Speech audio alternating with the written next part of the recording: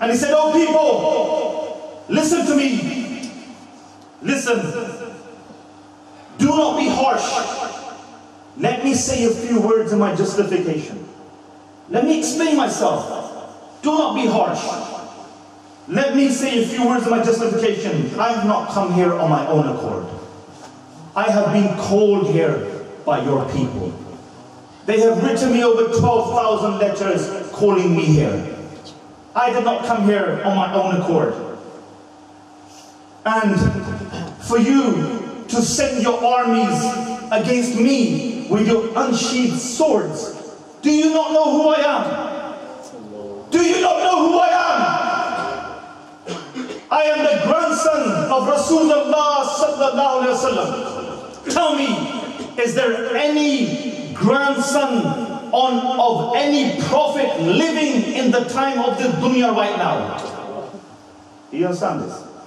Is there any grandson of any prophet living on this dunya right now at this time? No. I am the grandson of the Prophet of Allah. Do you not know, facing the enemy, do you not know what Sayyidina Rasulullah said about us? Al-Hasan wal-Hussein say Sayyid al-Shabab al-Jannah. That my two sons Hassan and Hussein, they are the leaders of the youth in paradise. Have you not heard when Sayyidina Rasulullah said, Hussein minni wa ana min al-Hussein. Ahabba Allahu man ahabba Hussein. Have you not heard when Rasulullah used to love us, used to care for us, me and my brother. And if you do not believe me, then go ask the Sahabis who are alive today. Go ask Jafar ibn Abdullah. Go ask Zayd ibn Arqam. Go ask Anas ibn Malik. Go ask Sa'id, who is alive today. They will tell you on how the Prophet used to love us. And then,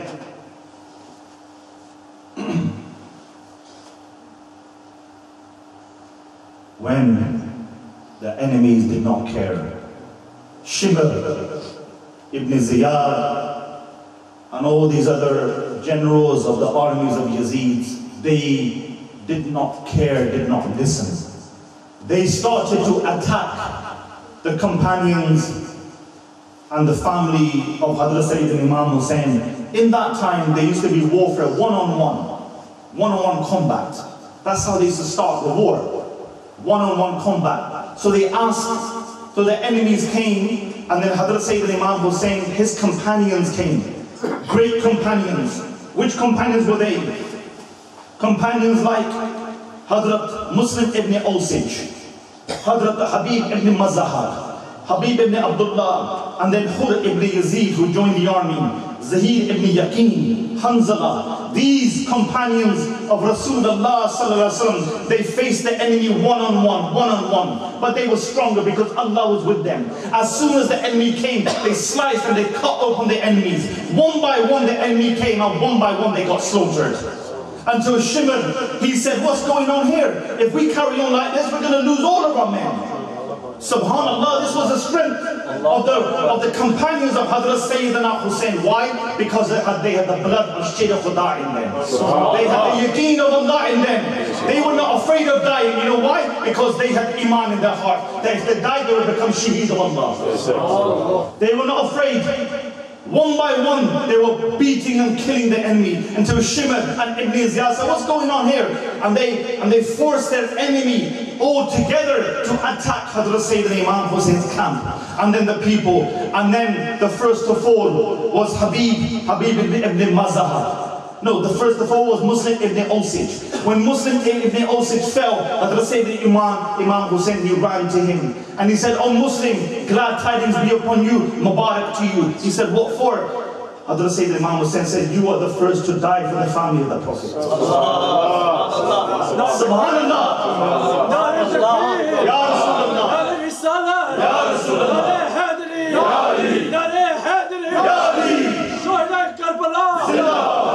O Muslim, Mubarak to you, for you are the first one to die for the Prophet of Allah sallallahu alaihi wasallam. And then he turned around to Habib ibn Mazahar. While he was dying, Muslim ibn Osij, he turned round to Habib ibn Mazhar and he said, Oh Habib, take my last words of the nasiha. He's dying. He's dying. And he turns around to Habib and he says, Habib, take my last words of advice. You know what he said to Habib? Habib, remember, make sure you do not die after Hussein. Habib, make sure you do not die after Hussein. Make sure you die protecting Hussein. Make sure you die before Hussein, protecting Hussein. Make sure you don't die after Hussein. And then the second before was Habib ibn Mazahar. And then after him, Habib ibn Abdullah. And one by one, they fell, but they became shaheed in the way of Allah. And then Hadrat Sayyidina Imam Hussein, his own son, his own son Ali al-Akbar, who was a beautiful young man, handsome man, and he sought the permission from his father, let me go out in the battlefield. Hazrat Sayyidina Imam Hussein said, look my son, I can give you the ijazat, but you, you and your, your pupi, she will not give you ijazat. Sayyidina Zainab. For you know how much she loves you. You know how much she cared for you when you were young. If you want to ask for permission to go on the battlefield, go ask permission from Sayyid Lady Zainab. And he goes to Sayyida Zainab. Sayyida Zainab says, I cannot, I cannot part you from my eyes, but I have no choice. I have no choice but to send you in the battlefield to protect our family, to protect Hadrat Sayyidina Imam Hussein and the son Ali Akbar even though he fought many, many enemies, many Yazidis, and he killed them. And he was a beautiful young man. Even the enemies looked upon him, and you know what they said? They said, Subhanallah, he looks like the Prophet. That's what they said. They said, Subhanallah, he looks like the Prophet. But guess what? Despite looking like the Prophet, they still killed him. They still killed him. And he fell to the floor, and when he fell to the floor, he said, Oh Father, Hadrat Sayyidina Imam Hussein ran to him and said, My son, do not worry. And he said, Ya, Ya father. And he had a spear through his chest, which is sticking out his back. Can you believe this? Can you take that pain? Can you take that pain? Ali Akbar was taking that pain and he said to her father, Oh father, have I done well? Have I done well? The Sayyidina Imam Hussein said, you don't have to worry no more. Because after this time, your grandfather, your great grandfather, Rasulullah is waiting for you on the other side. You don't have to feel no more pain. Rasulullah is waiting for you on the other side. And then he went back inside his tent, Hadrat Sayyidina Imam Hussein, and he brought out his baby. He thought maybe they will have some pity upon the baby. The baby was screaming and crying, and uh, their wife, they were calling out to Hussein, Hussein, come, caress and cuddle your baby. Hadrat Sayyidina Imam Hussein went back into the tent, and they caressed and cuddled their baby. And they said, the women folk said, Ya Hussein, we don't have no water. He hasn't had no water for three days. For three days. The baby was crying. Hadrat Sayyidina Imam Hussein came out of the tent and they thought that maybe they would have some pity, maybe they would have some humanity, maybe they would have some, some adab or even a speck of adab and muhabbat. But what did they do? They struck an arrow in the neck of the baby, Ali al-Asghar. And the blood ran down the hands of Hadrat Sayyidina Imam Hussein and the blood, he took out the arrow of that chota bacha, six-month-old baby. And then he lifted his hands to the sky full of blood. And he says, Ya Allah, give me sabr upon your decree. Ya Allah, give me sabr upon your decree. And this is a man whose children are dying in front of him. This is a man whose companions are dying in front of him. And he's carrying those bodies from the battlefield back to his tent. He's seen his sons die. He's seen his nephews die. He's seen his brothers die. He's seen his brothers' sons die. He's seen his companions die. And he's still standing there with the bravery and the courage in standing up to the opposition and to the enemies of Allah. You know what they said? The enemies, even they were alarmed and they said, Subhanallah, how can this man be? For his babies have died in front of him, his sons have died, and he is still content with Allah. Look at him asking from Allah.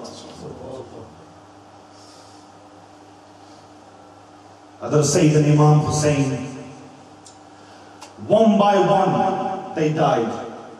Until Hadhrat Sayyidina Imam Hussein was the last one standing. Was the last one standing. Are you still with it? Are you still with Hussein? Are you still with Imam Hussein? Are you still with Imam Hussein at the back? Because if you're not, we, are still with Hadrat Sayyidina Imam Hussein.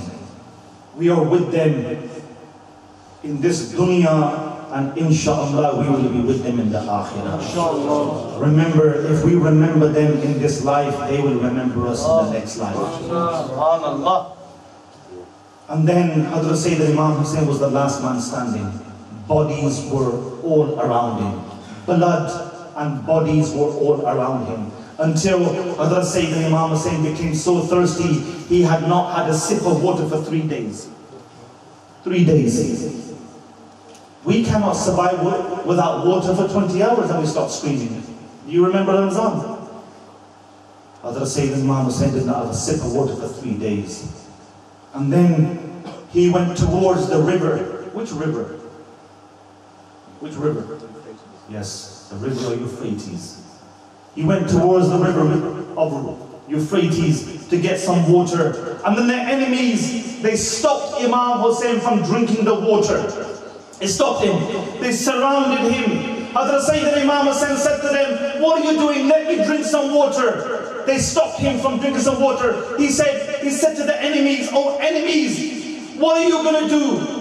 What are you going to do on the day of Qiyamah? On the day of judgment, when you come to my grandfather Rasulullah, sallallahu alaihi ask him to drink from the Hawz Kawthar. What are you going to do when today you have stopped water from the family of the Messenger of Allah?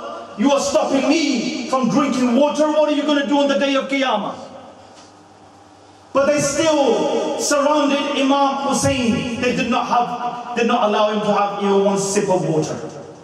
They kept circling Imam Hussein, circling him. Some of the narrators afterwards, they say, uh, the narrators from the family, the women folk who told, were looking through their tents. They said that when the enemies were circling Imam Hussein, it was like sheep sheep around the lion of Allah. It was like sheep were confused around the lion of Allah. The lion of Allah was in the middle. The sheep were circling him left and far, left and right, left and right, right and left. They did not know what to do. You know why? Because nobody wanted to take the responsibility in killing Hussein. Nobody wanted to take the hand, the sole responsibility on killing Imam Hussein until Shimr said, attack him.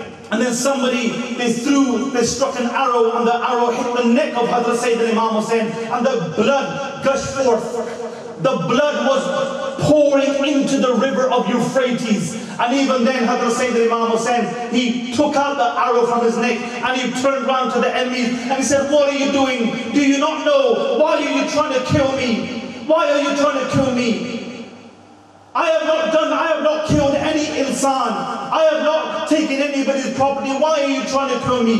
Do you not know that Allah subhanahu wa ta'ala will judge you on the day of Qiyamah? Why are you trying to kill me today? Do you not know that you will face Allah and Allah's Rasul sallallahu on the day of Qiyamah? How will you face Allah? How will you show your face to Allah and to my beloved grandfather Rasulullah and you're trying to kill me today? And the, and the scene was so touching that many of their enemies, they stepped back. But when they stepped back, Shimr, he forced his enemies and he said, oh, oh enemy, uh, oh my army, oh soldiers, go forth. Surround him, attack him. Simultaneously, all of them, they started to attack Hadrat Sayyidina Imam Hussein with their swords, with their spears, and with their arrows all together. When Hadrat Sayyidina Imam Hussein he took so much and he fell to the floor. When he fell to the floor, do you know what he did? He still remembered Allah. He still remembered Allah. He fell to the floor. He put his forehead in sujood to the floor and he said, Allahu Akbar, Allahu Akbar. Allah is the greatest. Allah is the greatest. This is a man who's faced so much his babies have died in front of him. His families have died in front of him. Everybody's companions have died in front of him, but still he's remembering Allah at this time. Sayyida Zainab is looking through the tents and she cannot believe her own eyes, witnessing all of this in front of her own eyes. And she was crying out from the tents and she said, Oh sky! She turned to the sky she said, Oh sky, why don't you fall down upon these enemies? Look what they are doing to the beloved grandson of Rasulullah sallallahu alaihi wasallam. Oh sky, fall down upon these enemies. She could not bear Nobody could bear to watch their beloved, their master, their imam fall to the floor with wounds of swords and spears and arrows all over their body, bleeding profusely. And then Hadrat Sayyidina Imam Hussein fell to the floor, put his forehead to the ground and raised the zikr of Allah, Allahu Akbar, Allahu Akbar, until one ill-fated, treacherous person from the army of Shimr, he got off of his horse and Shimr said, who will separate his head from his body?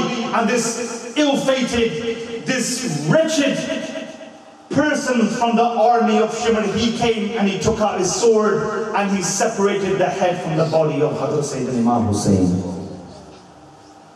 He took off the head and then Shimr and Ibn Ziyad said, now we will take off the heads of all of the companions, of all of his companions, all of them. And they took the heads of 72 people. When they took off the head, they cut off the heads of 72 people. These are the Ahl al-Bayt. These are the family, these are the companions of Hadrat Imam Hussein and the Ahl al-Bayt. And then they used the horses to trample their bodies, trample their bodies until there were pieces and pieces of body. Somebody's arm was over there, somebody's leg was over there, somebody's body was split into half. When Sayyidah Zainab saw this with her eyes.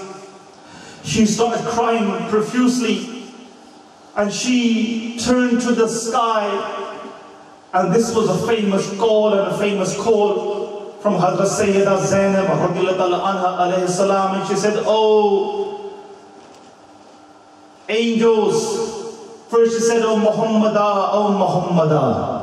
Ya Muhammadah, Ya Muhammadah, may the angels of the skies send salutations upon you. Ya Rasulullah, Ya Rasulullah, look down. This is your son lying here in a pool of blood. This is your beloved Hussein, your son lying in a pool of blood. Today, his shroud is blood. His body has been cut into pieces. His progeny has been killed. His family has been killed and his women and your, your family, your women have been made prisoners and captives today. Ya Muhammadah, Ya Muhammadah. She kept saying this and it was so touching at that time that even many of the Yazidis started to cry from, from the hearing of Sayyidah Zainab. Even they started to cry. They felt something in their hearts but it was too late by then. I'm going to finish off on this last narration.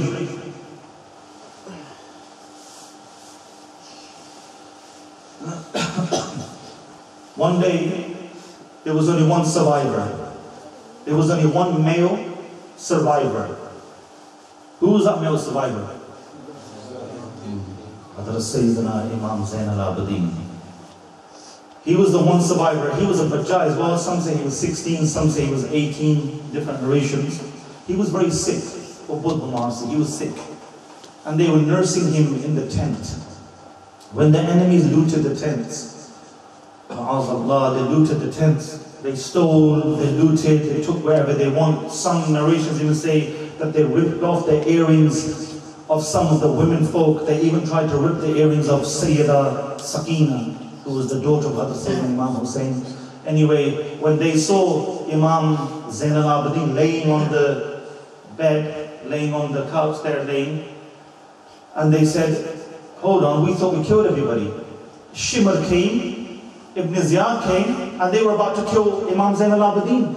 Hazrat Sayyidah Zainab, she stood in front, protecting protecting her nephew. And she said to the enemies, O Shimr, O Ibn Ziyad, have you no iman? Have you no shame that you've killed all of the progeny of Rasulullah and now you want to kill another child? He's sick. He needs nursing. We are nursing him. He's sick. He needs help. So they left him alone. Hazrat Sayyidina Imam Zain al-Abidin, he saw every single thing what happened in Karbala with his own eyes. He heard and he saw. Many, many years later in Medina Park when he grew up, through the bazaar of Medina, Hazrat Sayyidina Imam Zain al-Abidin used to walk through the bazaar in Medina. Imagine the scene. You know the butchers cutting meat. You know the meat shops. जो कसाई the वो जो तो देखते सन they used to shut their shops. They used to shut their shops put kapra over the meat. Every time Imam Zain al-Abidin would walk through the bazaar all of the meat shops used to shut their shops. Used to put kapra over the meat.